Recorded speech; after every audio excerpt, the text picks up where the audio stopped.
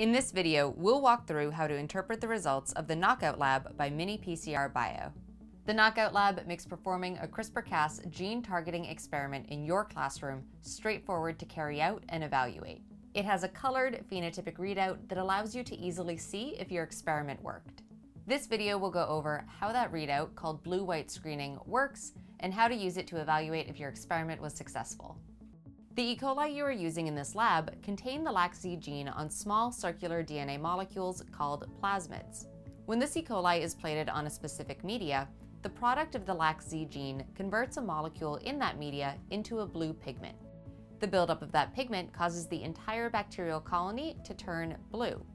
So if you just plated the bacteria without performing an experiment, you would see blue colonies on your plate. But in this lab, you set up two transformations, your control condition and your experimental condition. In each, you transformed the E. coli containing the LAC-Z plasmid with a second plasmid.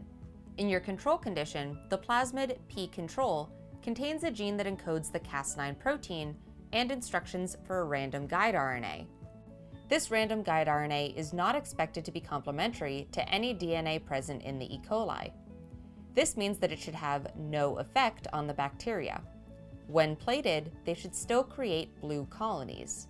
In your experimental condition, the plasmid PKO contains both the gene that encodes the Cas9 protein and instructions for a guide RNA that is complementary to LAC-Z.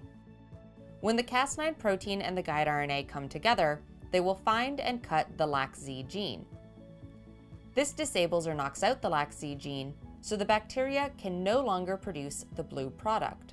When plated, these bacteria will create white colonies.